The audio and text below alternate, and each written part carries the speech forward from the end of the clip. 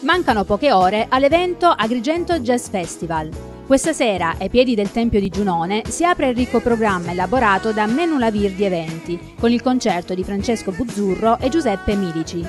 Sono stati giorni intensi per l'organizzazione che ha preparato nei particolari le quattro serate. Stasera quindi spazio alla chitarra e all'armonica del duo Buzzurro e Milici, che ripercorreranno i brani che hanno fatto la storia della musica jazz.